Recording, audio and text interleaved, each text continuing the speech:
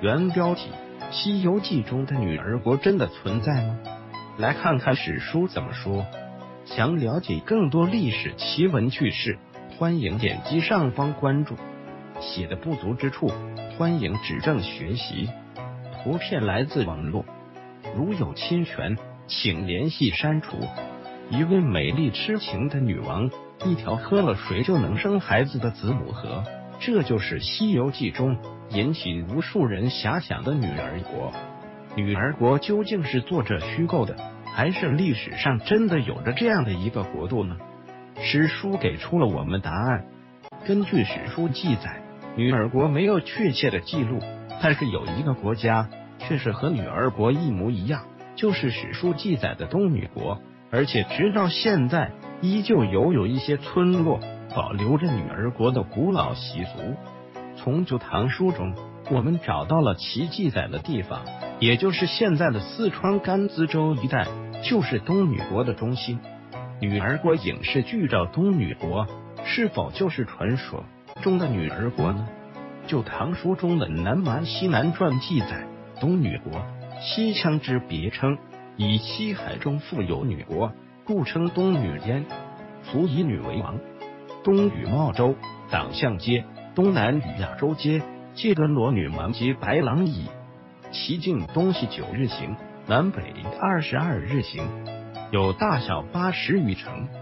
根据史书上所说，东女国南北长二十二天行程，东西长九天行程。按照过去一天骑马四十公里，或者步行二十公里的速度，那么东女国南北覆盖最低四百公里。东西最低一百八十公里。从史书中，我们还可以看到，东女国建筑都是碉楼，女王住在九层的碉楼上，一般的百姓则在四五层的样子。女王穿的是青布毛领的绸缎长裙，裙摆拖地，贴上金花。跟女儿国最为相似的就是东女国，也是重妇女，轻男人，国王和官吏都是女人。男人的地位相当低下，跟我国封建社会正好相反。东女国设有女王和副女王，而且都得有才能的人才能当。在女王去世后，就由副女王担任。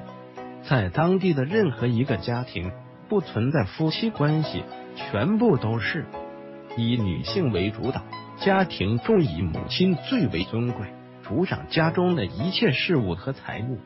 四川甘孜这种以女性为主导的过渡，正好跟我国几千年的父系为尊的社会相反。虽然其中没有《西游记》中的子母河，但是这一切的习俗都跟女儿国类似的。这个东女国是否真的是《西游记》中的女儿国？史书并没有确定的记载，只是通过史书，我们找到了这样的一个地方，也证明女儿国也是东女国的映射。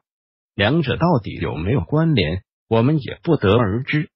资料来自《旧唐书文化奇观大揭秘史记西游记》，返回搜狐查看更多。责任编辑。